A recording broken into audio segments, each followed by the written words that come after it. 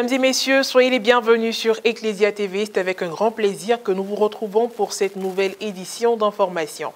Au sommaire, le bonheur s'est invité chez les agents d'Ecclesia TV. L'animatrice Roselyne Mobio a donné une nouvelle orientation à sa vie matrimoniale à travers la célébration de son mariage coutumier le samedi 20 février dernier. Les détails dans quelques instants. Et puis à Bethléem, la congrégation des Salésiens, fondée par Don Bosco, a décidé de faire de l'éducation des jeunes son affaire. Le père Lorenzo Sagiotto est le directeur général de l'école salésienne technique, dont la mission première est d'offrir aux jeunes la possibilité d'un avenir digne. Comme annoncé en titre, le samedi 20 février dernier a été un jour spécial pour l'animatrice d'Ecclesia TV Roselyne Mobio et son conjoint Armel Aquadjo. Ils ont franchi le premier pas du scellage de leur union à travers la célébration de leur mariage coutumier communément appelé dot. La cérémonie s'est déroulée dans un village de Bingerville en présence des familles Quadjo et Mobio. Elle a débuté par les échanges entre les deux familles avec la présentation des biens demandés par le père de la promise, à savoir de la boisson, des pagnes et une somme symbolique de 5 francs. Soulignons que la dot en pays Tchan suit tout un processus de négociation mené par un coordonnateur ou intermédiaire qui est chargé de prendre la liste des demandes auprès du père de la fiancée, puis de la porter à la connaissance du prétendant et de sa famille, qui à leur tour font le nécessaire pour réunir tous les éléments. Une fois que tout est prêt, une date est fixée et c'est à ce moment que la cérémonie de dot peut avoir lieu. Le couple Aquadio n'a pas dérogé à cette règle. Lors de la cérémonie, un piège a été tendu au fiancé pour créer le suspense, lequel a consisté à lui présenter plusieurs jeunes femmes, parmi lesquelles il devait reconnaître l'élu de son cœur. Finalement, il a réussi à relever le défi et les parents lui ont accordé la main de leur fille. Ils n'ont pas manqué de prodiguer des conseils aux jeunes couples et ont formulé des prières. La tradition orale reconnaît la dot en pays Hatchan comme un événement célébré en secret, mais aujourd'hui, vu la puissance du brassage culturel et de la modernité, les Tchamans font aussi de la dot un moment de réjouissance auquel tout le monde est convié. C'est donc autour d'un joyeux festin qu'a pris fin cette cérémonie avec la prestation d'artistes, de chantres, sans oublier la remise de cadeaux. Heureux mariage au couple Quadio.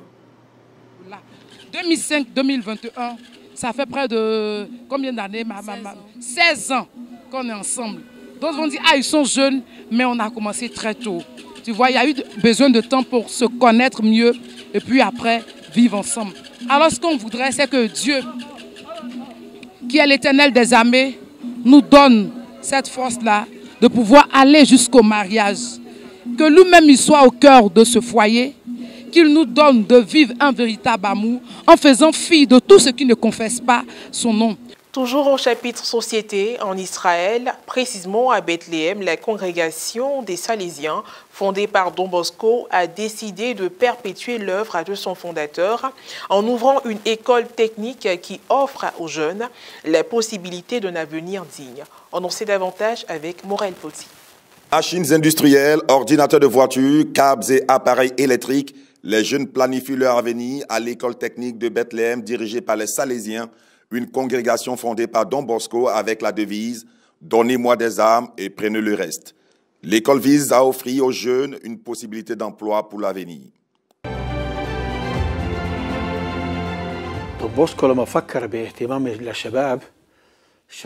Quand Dom Bosco a commencé à s'occuper des jeunes, il a senti qu'il fallait leur enseigner des métiers.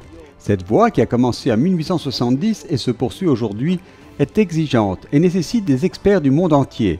C'est pourquoi les Salésiens se sont spécialisés dans les écoles industrielles, car elles offrent aux jeunes la possibilité de trouver du travail et de vivre dignement.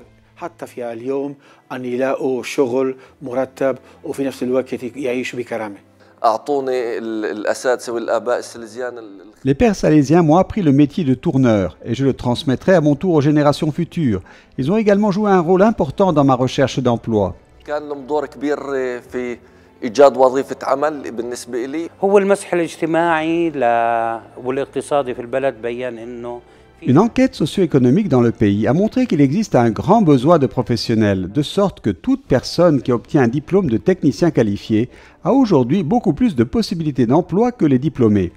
De nombreux témoignages que nous recevons de nos anciens élèves indiquent qu'ils n'ont eu aucune difficulté à trouver un emploi.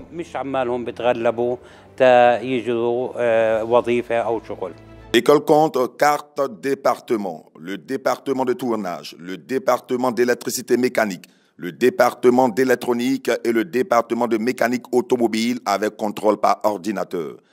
Quelques étudiants ont bien voulu parler de leur spécialité.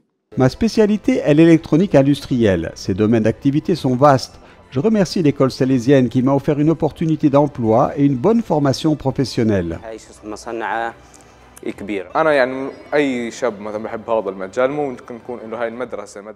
L'école technique de Bethléem est un excellent endroit pour tout jeune qui aime ce domaine, car elle fournit le diplôme qui vous qualifie pour le travail et vous n'avez pas besoin d'aller à l'université si vous voulez entrer directement sur le marché du travail.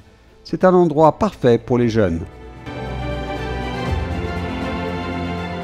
Les Salésiens sont également engagés dans l'organisation d'activités récréatives pour les étudiants. En plus de la formation technique, les enseignants de Don Bosco favorisent la coexistence pacifique et la construction d'un tissu social sain. L'école technique de Bethléem est consciente de l'importance du savoir-faire pour que les jeunes puissent mieux faire face à leur avenir.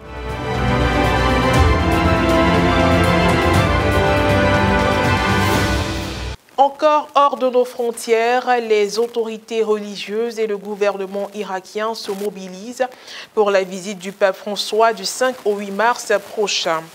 Un couvre-feu a même été annoncé pour lutter contre la pandémie de coronavirus. Première de l'histoire, le patriarche chaldéen de Bagdad, Louis Camille, avait déjà annoncé cette bonne nouvelle de la visite du Saint-Père en terre irakienne. Bienvenue en Irak, pape François. Des interventions. Nous, qui avons connu beaucoup de difficultés lorsque nous avons fui l'ISIS, nous avons besoin d'un message d'espoir de la part de quelqu'un comme le pape François. Nous avons commencé à préparer la visite du pape François il y a environ deux mois, au milieu de nombreux défis. Nous avons commencé à rassembler les jeunes, à décorer la ville avec des drapeaux, avec des photos du pape. Ce logo a été réalisé exprès pour sa visite à Karakoche. C'est le logo que nos jeunes ont créé. Soit aux nombreux chrétiens de la plaine de Ninive en Irak est très attendu. La première par un pape en terre d'Abraham. De Bagdad à Mossoul en passant par Karakoche, Ici, la communauté chrétienne s'est rétablie à la fin de la longue occupation par l'État islamique. Père Georges, parmi les organisateurs du voyage et directeur du Conseil suprême de l'Église, raconte le travail de ce comité dans la ville symbole de la reconstruction après sa destruction de près de 35% de 2014 à 2017 par Daesh. On pensait trouver une ville abandonnée, mais deux semaines après la libération, les cartes satellites ont révélé une véritable tragédie. Églises brûlées, clochers démolis, maisons incendiées. Nous avons classé les maisons en trois catégories. La catégorie A, celles qui ont été totalement détruites, soit environ 62 maisons. La catégorie B, celles brûlées ou partiellement détruites, soit environ 2100. Et enfin la catégorie C, celles qui ont subi peu de dégâts, et il y en a eu environ 4774. En mai 2017, le comité de reconstruction comptait à peu près 22 employés. Au fil des ans, il a reconstruit environ 57% des maisons. Aujourd'hui, en raison de la rareté des fonds, il a été réduit à quelques personnes seulement. Cette visite donnera de la force. Elle encouragera les chrétiens à rester sur cette terre. Elle donnera un élan moral pour être des témoins sur cette terre. Nous l'attendons donc avec une grande joie. Sa visite apportera un changement dans nos vies, dans nos relations avec les autres. Nous sommes tous frères. Tel est le message du pape. Et c'est ce que nous voulons vivre sur cette terre. C'est la fin de cette édition d'information. Merci de l'avoir suivi. Que Dieu nous garde. À demain.